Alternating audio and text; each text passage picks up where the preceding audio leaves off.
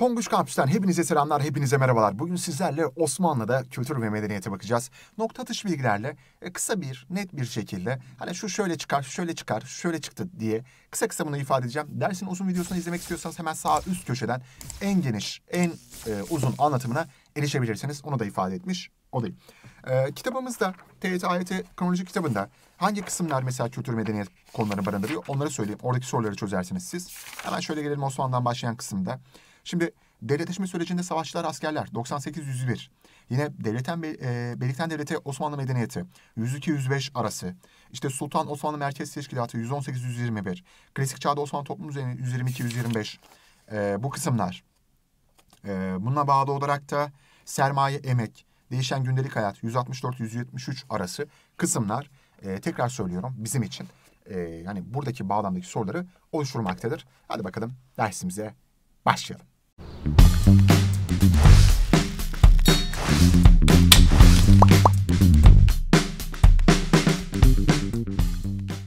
Şimdi ilk olarak Osmanlı Devleti'nin merkezlerine sorulabiliyor. Hani aşağıdaki yerlerden hangisi Osmanlı Devleti'ne bir merkezlik yapmamıştır diye. Söğüt, Karacahisar, Bilecik, İznik, Bursa, Edirne, İstanbul. Gelirse bunu hemen yapıyorsun, unutma. Hükümdarlık unvanları. Osmanlı hükümdarlık unvanları arasında aşağıdakilerden hangisi bulunmaz? Gelirse Padişah Hünkar Yazi Han, Dövendiyar, Bey Hakan Halife, Sultan Osman tarafından kullanılmış. Buna bağlı olarak da hükümdarlık alametleri üzerine de sorular gelebiliyor. İşte çadır, para, davul, şemsiye, tu, tuğra, işte cülüs, bahşişi, tat, hutbe, hilat, e, işte sancak, kılıç alayı, alem, biat törenleri. E, burada e, alemeti olarak kullanılan niteliklerdir. Sınavlarda sorulabiliyor. Hani bu kısa biraz ezber yapmanızı isteyecek maalesef.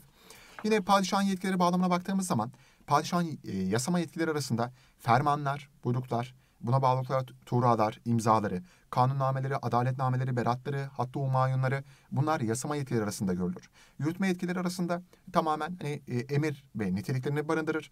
Yargı sistemi içerisinde ise değerli kardeşlerim müsaade ve kulluk hakkı vardır. Müsaade eğer bir kişi haksız bir şekilde devlet malından zenginleşmişse onun mallarına el koymaktır. Müsaadeyle bunu yaparsınız. Padişahın yargı yetkisidir. Kulluk hakkı ise işte kendi kullar arasında değişilmiş sistemi içerisindeki kullar arasında idam hakkı verme, idam emri verme hakkıdır öyle söyleyelim. E, bu da yargı yetkisi içerisinde padişahın yetkileri arasında bulunur. E, kültür ve medeniyet bağlamında veraset sistemine gelelim. O Osman ve Orhan Bey dönemlerinde devlet hanedanın ortak malı olarak geçmektedir. E, Birinci Murat dönemine geldiğimiz zaman padişah ve oğulları arasında hükümdarlık görülmüştür. E, Mehmet döneminde, Fatih döneminde tamamen padişah. Birinci Ahmet döneminde ise Ekber ve Erşet uygulamasına geçilmiştir. Yani en bilgili, en yaşlı kişiye bu atfedilmiştir diyelim. Unutmayalım. E, belki eşleştirmesi gelebilir. E, saraylar kimin döneminde yapıldı? Nedir, nasıldır? İşte Avrupa etkisi var mı yok mu? Buradan da sorulabiliyor. Mesela sana beş tane saray verilir. Hangisinde Avrupa etkisi yoktur der. O zaman bu niteliğe dikkat edersin. Bir de kimin döneminde yapıldıkları ile ilgili. Bursa Sarayı Orhan Gazi döneminde. Edirne Sarayı 1. Murat döneminde.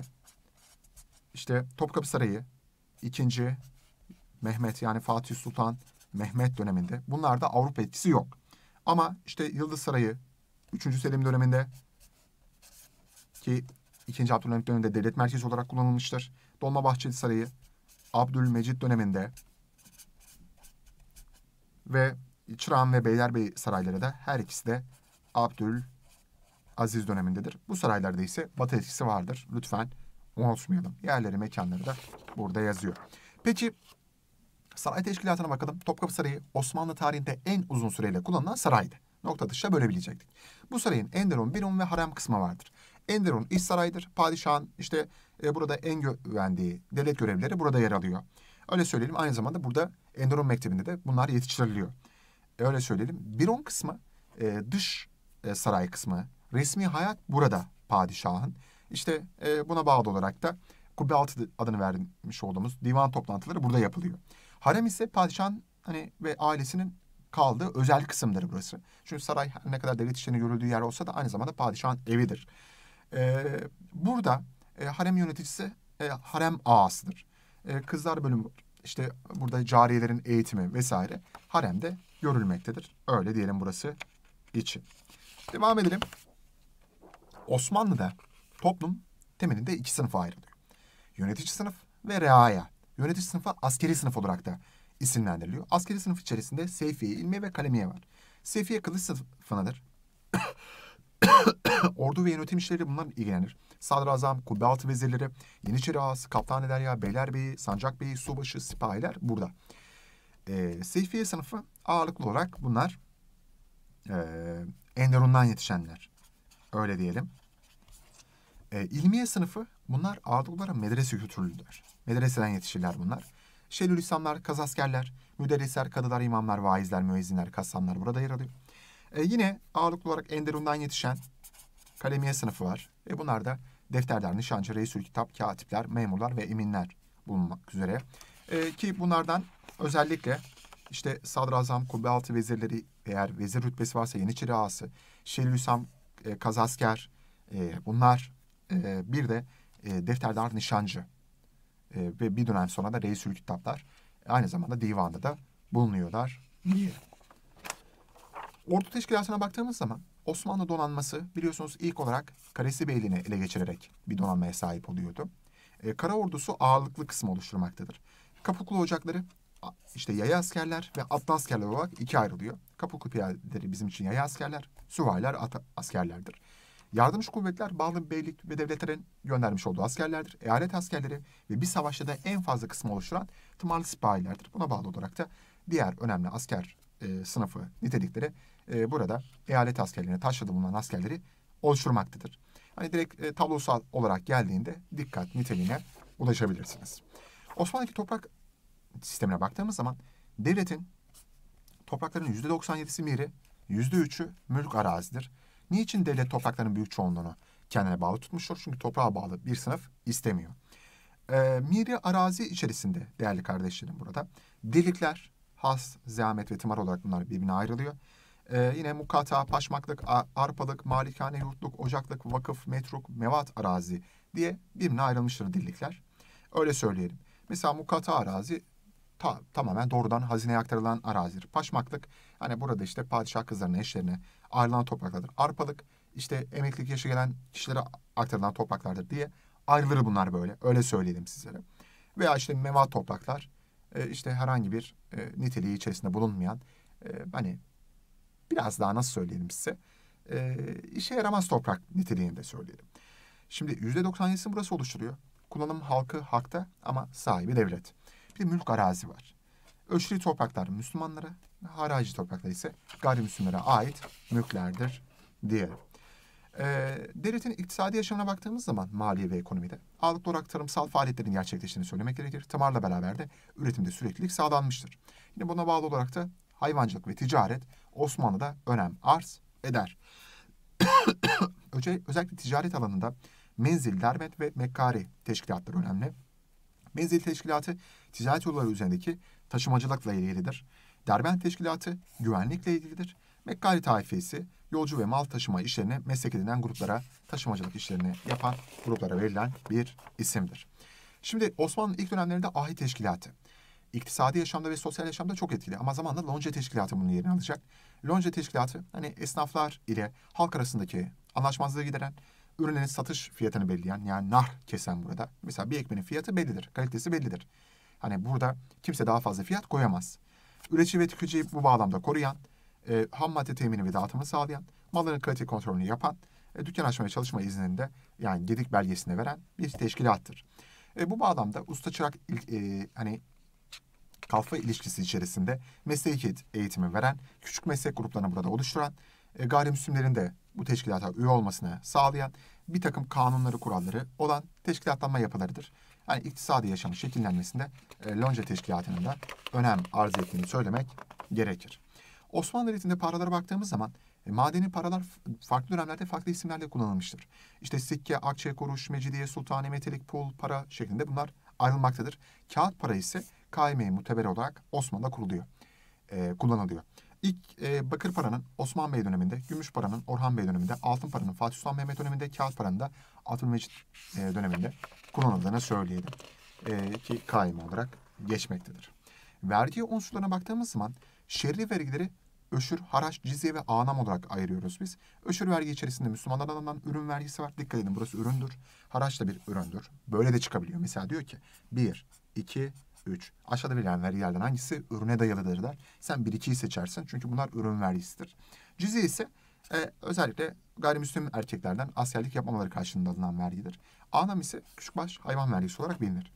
Örfi vergilerde çift tane var. Bir çift öküz ile işletilen araziden alınan vergidir. Çift bozan var. Eğer toprağını 3 yıl üst üste ekmezsen senden alınan vergidir. Amaç üretimde sürekliliği sağlamak.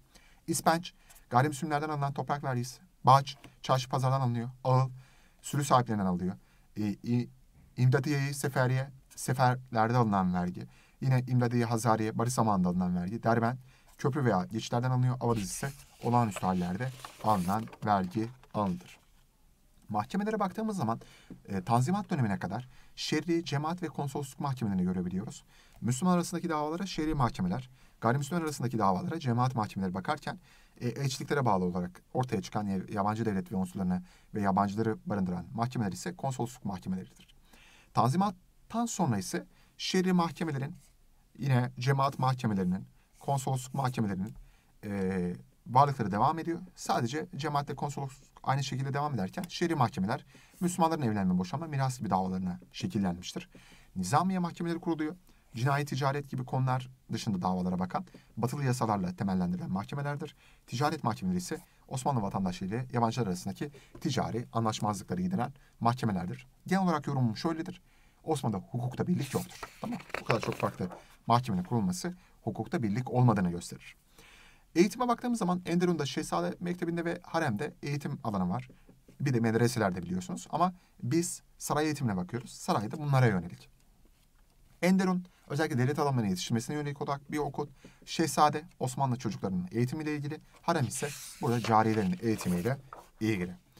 Ee, ünlü bilim adamları ve onların yaptığı çalışmalar kısa kısa bunlara değinelim. Kadızade-i Rumi özellikle Muhtasarı Fil Hisap adlı eseriyle oldukça önemli matematik astronomiyle ilgilenmiş. Ali Kuşçu Risaletün Fethiye isimli eseri var. Fatih döneminde e, Sanı Seman'da hocalık yapıyor. E, Takiyüddin Mehmet Alatur Rasali Fil Şenşahi isimli eseri var. Özellikle kurmuş olduğu rasathane ile oldukça önem arz ediyor. Matrakçı Nasuh Cemal Kütap, e, Kemal Hisap isimli eserleri var. Matematik alanında yine minyatür alanında önemli bir sanatçı. Sinan Paşa önemli bir matematikçi.